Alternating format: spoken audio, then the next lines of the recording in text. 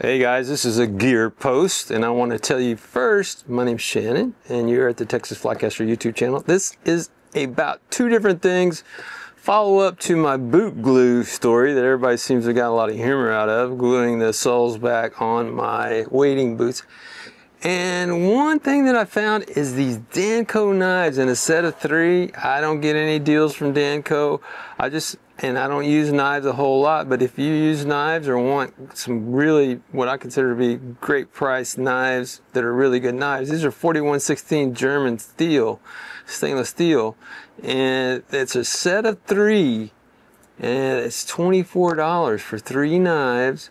And I'm guessing I, I picked it on the little, picked it up on a little dip, and I think, and the dip was they didn't charge shipping, so 24 bucks, no tax, in hand, great deal.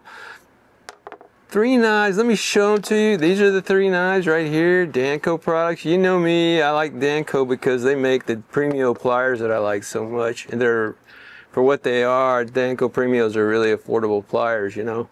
Um, all right, this knife right here, staying on the boat. I like the size of it. This is the four inch tournament series. And uh, I just really like that for the boat. Good knife. You can, you can, if you're a fish eater cleaner and you want to eat sushi on salt, well, sashimi actually. That's a knife you want to keep on the boat. And then we go to the six inch knife. This is another uh, fish cleaning knife, supposedly. The, the serrated is for bone cutting. But for me, this will just be a backup to all my other knives. I need to do a story on all, all of my fillet knives uh, that I never use. Um, and then this is a cool knife for the house. I got this to keep in the house, stiff blade, serrated all the way. That to me looks like a really good bread knife. So we're gonna see how that works out. Danco it's I've got a link to this particular uh, set of knives down in my description below. What I would do if I was you is I would stay uh, alert on that. Go ahead and get a get an account at Danco, and then what you can do is get notified when sales come on, and that's what happened to me, and that's how I got those for 23 knives there for 24 bucks. Really nice.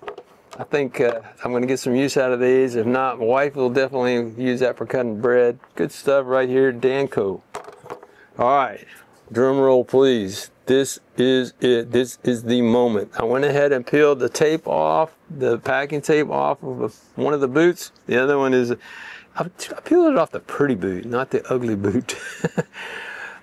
Here it is. On adhesive is holding like a banshee all the way around. And what I think, and what it did though, you got to keep in mind, gluing this, you got to be judicious.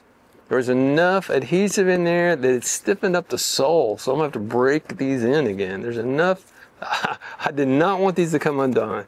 So when I put it, put it all back together and pressed it together, that there's a big gobs of adhesive in there and that you're gonna go a little thinner than I went. If you look back to that video, there's a link to it up there. Uh, you'll see how I did that.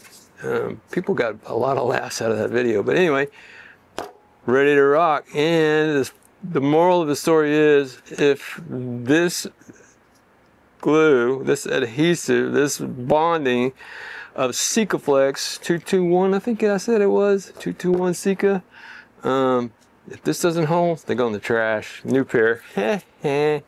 but I won't be trying that out for a little while unless somebody invites me to go down on the sand in South Padre Island or somewhere.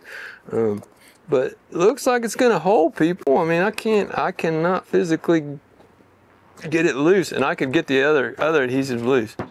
All right, that's a quickie. Thanks for watching. Hope you like the gear stuff. Let me know if you like it. If you don't, let me know too.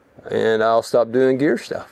Thanks for watching. Like and subscribe. And check out some of my other YouTube stuff going on on Blue Dots and my photography channel, which is, there's a link to Blue Dots and there's a link to the photography channel, F8B there. And that's going to be kind of like a historical thing, historical perspective on photography um, for photojournalism. Thanks for watching. See you next time.